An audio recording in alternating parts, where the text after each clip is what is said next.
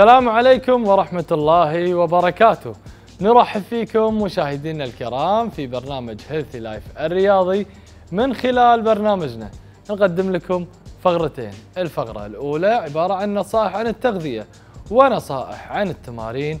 الفقرة الثانية نقدم لكم فيها مجموعة تمارين ومن خلال هذه التمارين نشرحها لكم بالشكل الصحيح والخاطئ على أساس تستفيدون منها بشكل كامل. اليوم إن شاء الله راح نتكلم عن موضوع وهو موضوع مهم الإصابة في مرض السكر. طبعا بالنسبة حق الإصابة في مرض السكر لا أمور كثيرة تساعد على الإصابة في مرض السكر. طبعا من هذه العوامل أول شيء طبعا عندك العامل الوراثي. صحيح الكل عارف العامل الوراثي شيء أساسي ولكن أنت تقدر أنك تبتعد عن الإصابة في مرض السكر من خلال تغذيتك وأمور أخرى راح أتكلم فيها في هذه الحلقة. فبالتالي بعض الأشخاص يقول لك لا أنا أجدادي ممكن أو عائلتي كلهم فيهم سكر فبالتالي أنا راح أصاب بسكر مهما عملت. لا هذا الأمر خاطئ. أنت عندك طبعا من أسباب الإصابة في مرض السكر أول شيء عدم اتباع حمية غذائية أو السلوك السيء في تناول الأغذية. هذا هذا عامل أساسي. وأيضا عندك من العوامل الأساسية كذلك أو اللي تساعد أيضا في الإصابة في مرض السكر عدم ممارسة أي رياضة حتى ولو كانت رياضة المشي. اللي ما تبذل فيها مجهود كبير. فقط تناول الغذاء الجلوس في البيت وعدم الحركة وأيضا الخمول والكسل الدائم الموجود عند الشخص. وكذلك من هذه الأمور عندك عدم شرب الماء بشكل كبير أو عدم تلبية احتياج الجسم من الماء طبعا هذه كلها عوامل تسبب الإصابة في مرض السكر مو فقط العامل الوراثي ممكن الشخص أيضا ما يكون في عامل وراثي بعائلته ما يكون فيهم ما ما يكونون مصابين عفوا في مرض السكر ولكن مع هذه الأمور راح يصاب في مرض السكر. زين كيفية الوقاية منه هذه النقاط مهمة جدا. الوقايه منه أول شيء اتباع حمية غذائية. ما مو شرط اتباع حمية غذائية تكون zero carb zero سكر آه، عدم تناول الدهون. لا لا لا. تكون آه، اللي هي ال lifestyle بما بما يسمى اللي هو التناول أول شيء المقدار تناول وجبات بمقدار قليل.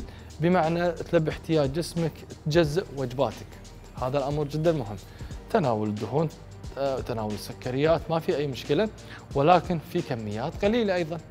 ما تتناول وجبتك وبعدها مباشرة تتناول مثلا سكريات لا. تتناول وجبتك من بعدها في مثلا ساعة ونص تتناول السكريات. أيضا عندك هذا بالنسبة حق السلوك الصحيح. ليش إحنا قلنا السلوك السيء؟ السلوك السيء ممكن يتناول وجبة تكون فيها دهون عالية وأيضا مباشرة يتناول وجبة فيها سكريات عالية. هني الجسم ما راح يهضم الجسم راح يحولها إلى دهون وإلى فات والإصابة في مرض السكر. فأنت دائما لما تتناول وجبة عطها من ساعة ونص إلى ساعتين بالكثير على أساس يهضمها جسمك ويستفيد منها وكذلك من بعدها عادي تناول الوجبة اللي بعدها سواء كانت فيها سكريات أو فيها مثلا دهون. ولكن آه، جزء وجباتك هذا السلوك الصحيح.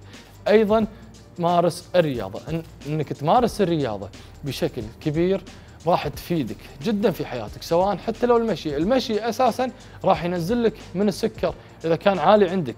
أيضا عندك إذا كان عندك إذا كنت تمارس رياضة فيها مجهود كبير أيضا أفضل.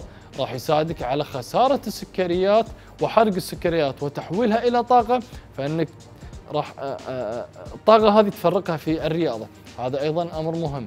أيضا عندك تناول الماء على الأقل الرجل يحتاج ثلاثة ونص لتر المرأة تحتاج اثنين ونص لتر يوميا. على أساس يساعدك على إخراج السموم الموجودة في جسمك وإخراج أيضا السكر الزائد في جسمك. وهذا كان موضوعنا اليوم إن شاء الله. أتمنى الجميع استفاد منه. تابعونا. من بعد الفاصل بتمارين جديدة.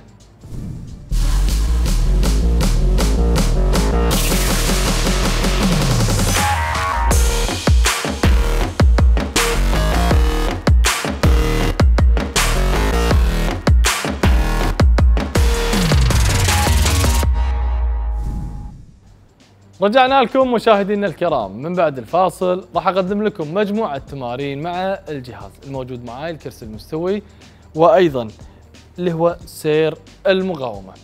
طبعا بالنسبة حق سير المقاومة حسب سماكة السير راح تختلف قوة السير. الطريقة الأولى للتمرين الأول راح أستهدف فيها اللي هي عضلة الأكتاف وكذلك راح تساعدني على زيادة مرونة عضلات الأكتاف اللي هو عبارة أيضا هذه التمارين ممكن تستخدمها في تسخين عضلات الأكتاف. وأيضا الشخص اللي ممكن تكون عنده إصابة في عضلة الأكتاف يقدر يمارس هذا التمرين. راح يساعده كثيرا في اللي هو تخفيف الألم. أول شيء طريقة التمرين، لاحظ ثبت سير المقاومه بهذه الطريقة. أسحب ذراعي بهذه بهذا الشكل. من بعد ها أحرك الذراع بهذا الشكل. لاحظ لاحظ من هذه الجهة. هذه المنطقة قاعد تتحرك معي. لاحظ الذراع ثابتة ذراع اليمين ثابتة اليسار فقط قاعد تتحرك معي بهذه الطريقة. وأيضا العكس بهذا الشكل أحرك ذراعي بهذه الطريقة. أيضا عندك التمرين. اللي بعده راح أحرك الذراع بهذا الشكل. لاحظ أفرد ذراعي بهذه الطريقة عملية الشد واضحة معاي. أنزل وأصعد بهذا الشكل. هذا التمرين راح يستهدف عضلة الأكتاف. طبعا هذه كلها التمارين تمارين تساعد على تقوية العضلات وأيضا تساعد على مرونة العضلات. التمرين اللي بعده راح استهدف فيه عضلات الظهر. لاحظ راح آخذ الجهاز بهذه الطريقة أحرك ذراعي بهذا الشكل. لاحظ؟ من هذه الجهة. وأيضا خلف الرأس بهذا الشكل. لاحظ؟ قاعد أحرك عضلات الظهر الخلفية. عدد الجولات تكون عندك أربع جولات في 15 تكرار. أيضا عندك طريقة أخرى. التمرين راح أستهدف فيها عضلة الذراع بهذا الشكل أحرك آه، آه، آه، الذراع إلى الأسفل والأخرى بهذا بهذه الطريقة راح تساعدني أيضا على استهداف عضلة الذراع الأمامي بهذا الشكل. التمرين اللي بعده راح أستهدف عضلة المعدة وكذلك عضلة الرجل. أول شيء التمرين الأول راح أستهدف فيه عضلة المعدة أو عفوا عضلة الرجل الأمامية في هذا التمرين. لاحظ بهذا الشكل أحرك الرجل أو أقدر أيضا ألعب التمرين بهذه الطريقة. لاحظ يستهدف عضلة الرجل الأمامية اللي هي في هذه المنطقة. الحين طبعا راح أستهدف عضلة المعدة. راح أثبت رجلي بهذه الطريقة. أحرك بهذا الشكل. أيضا هذا التمرين عضلة الرجل تكون عضلة مساعدة في هذا التمرين. وأيضا عدد الجولات تكون عشر آه تكرارات في ثلاث جولات. لاحظ؟ هذا التمرين استهدفت فيه أيضا عضله المعدة. طبعا بهذه التمارين أكون تقريبا استهدفت عضلات الجسم بالكامل مع سير المقاومة وهذه كانت تماريننا اليوم إن شاء الله. أتمنى الجميع استفاد منها. تابعونا. في حلقات مقبلة بتمارين جديدة.